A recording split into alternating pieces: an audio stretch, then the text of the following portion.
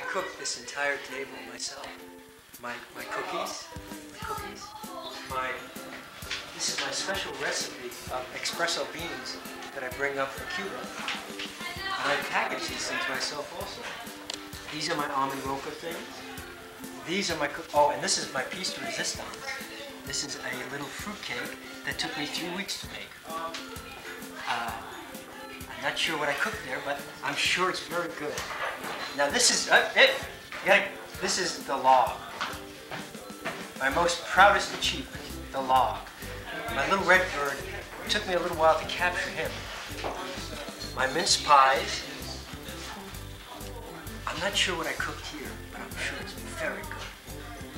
And this is the salad. I grew all this this in my backyard.